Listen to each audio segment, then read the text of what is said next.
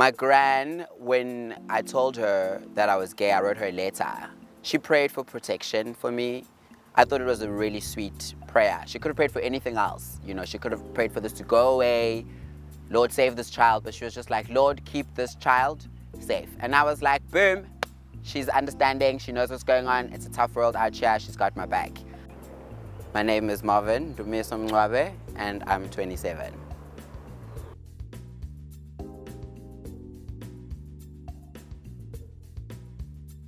Being a Zulu black gay man, yo, yo, yo, yo, yo. It's interesting. They should actually put like a course like this in school, part of life orientation. We don't know what it is. People aren't informed about it and people aren't willing to find out what it actually means to be gay in the Zulu culture. And you have to be a man, a man's man who has a woman. Yeah, but all those 2.5 kids that's serious stuff.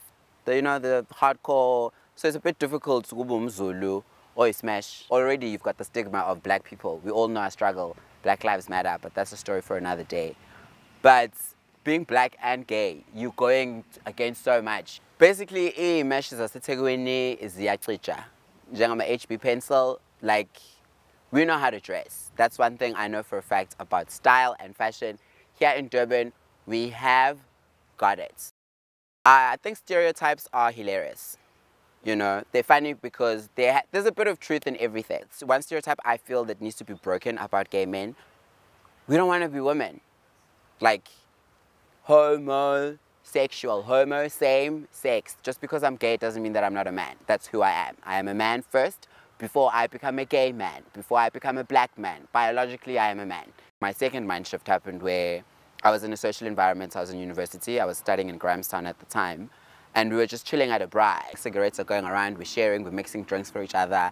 And at some point it came to a whole conversation about homosexuality.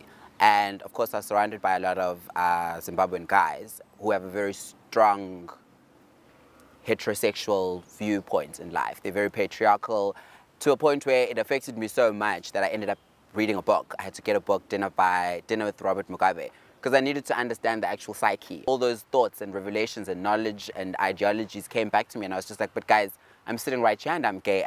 You've laughed at my jokes, you've smoked my cigarettes, you've drank the drink I've mixed for you. And not once were you exposed to this homosexuality that is such a, a plague or a disease or a sin. Another myth, I'll call this a myth, because it's not a stereotype, this is just a myth because that every straight man is the gay man's dream. No, you are not. You know, maybe Colin Farrell, maybe Will Smith, maybe Idris Elba, you know, and even then, we know it's not gonna happen. There is no way Idris Elba is gonna knock on your door at like half past 12 and be like, you will not believe what I wanna do to you right now. That's not gonna happen. Men are getting married to beautiful women, having families and children. But I tell you now, let's go out to the club at 11 o'clock there he is, hitting my ass up. It's like, no, but like, I saw you in Musgrave Center last week Saturday, pushing the pram and the trolley and being a married man. What do you want here?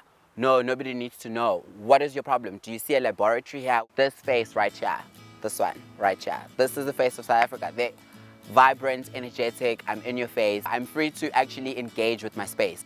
If you can accept yourself, you can wake up in the morning and you look at yourself in the mirror and you're just like, you know what, Marvin, Today you are fire. Get out there and burn.